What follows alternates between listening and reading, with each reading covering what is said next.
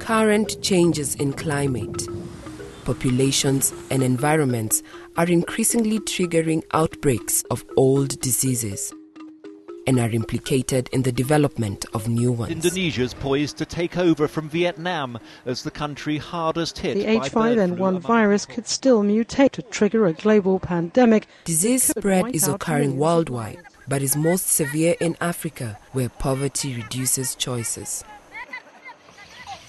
Many of these diseases are transmitted between animals and people, putting the world's poorest communities at particular risk. Rich countries can prevent diseases jumping to people by stopping them in animals. Poor nations can often only afford to control disease when people start to die.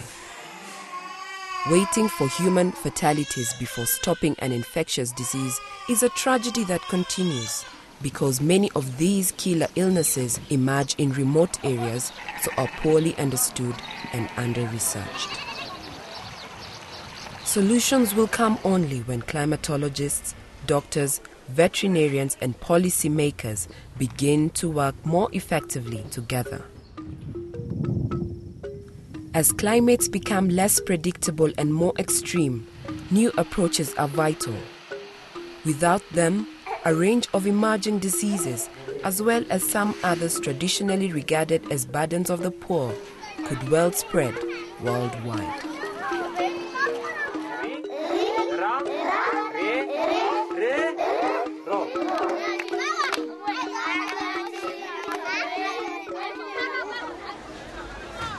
The threat of a pandemic has never been greater. The world is getting wetter and warmer. It's smaller.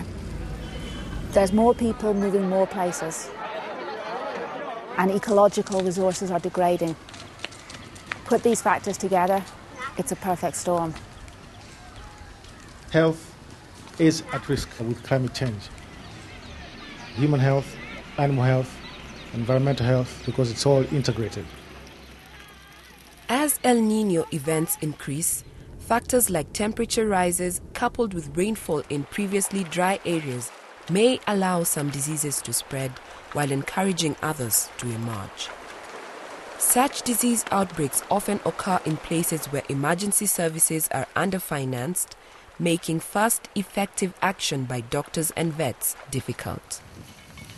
Rift Valley fever is one of the infections at risk of expanding its territory and becoming more frequent. On the dusty savannas of eastern Africa, where livestock sustain the economy, about twice a decade, Rift Valley fever whips through to decimate the herd. When we have a very wet year in a dry environment, we see explosions of mosquito populations, and then this virus can really take off and be amplified to the point where we see large numbers of human cases.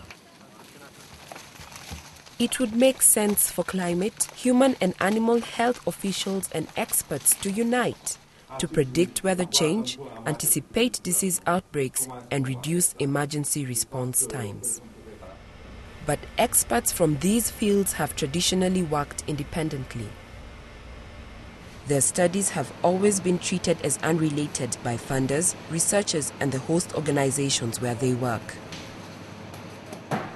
Efforts to create projects which cross these traditional boundaries have therefore been hard and time consuming to organize.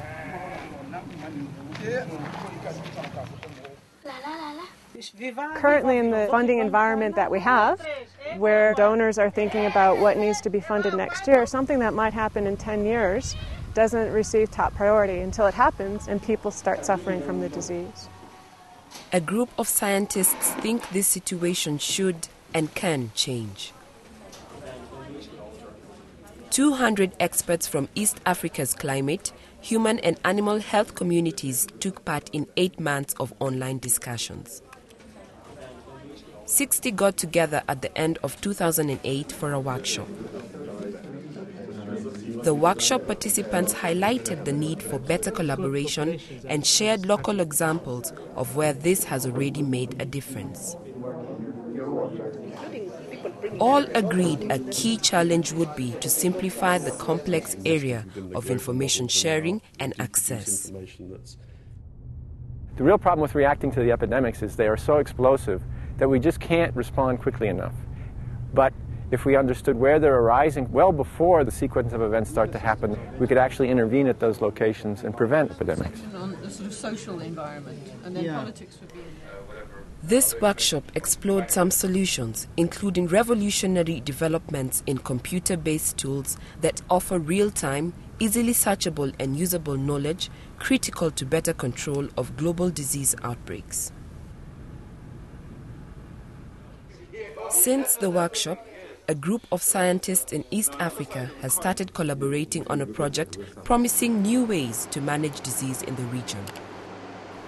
They will exploit the latest generation of gene sequencing technologies along with the state of the art systems for dealing with the vast amounts of data generated. And until now, we've just had to take species in isolation. For the first time, we can look at the mix of species that any sample, whether it's a, a bit of human skin, whether it's a bit of water, it's a bit of soil, uh, whether it's uh, the insides of a cow's gut, and we can begin to understand how it all works and interacts. And that is going to completely transform biology over the next five to ten years.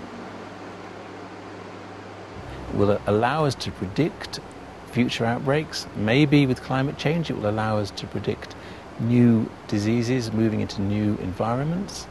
Uh, and it will allow us to, to understand the way in which pathogens move around an inch of soil a mile of land, an ocean, or an entire globe.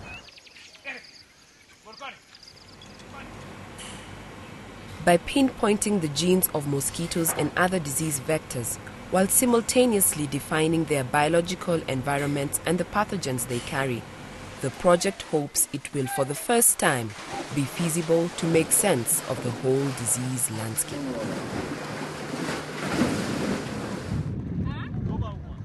Such DNA sequencing studies will reveal where viruses are between outbreaks and the chain of biological events that end up with an epidemic.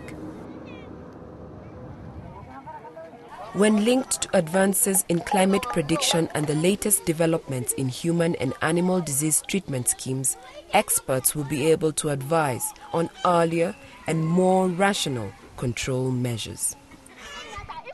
Most new diseases come from animals, but nearly everywhere in poor countries, they're first detected in people. We need to use animals as the sentinels for humans, not the other way around. With rising temperatures, there's a very high degree of likelihood that there will be again malaria cases in southern Europe. This kind of democratization of diseases through a global spread will lead to more research and will lead to hopefully a faster cure to these problems than before. And that's good, absolutely good.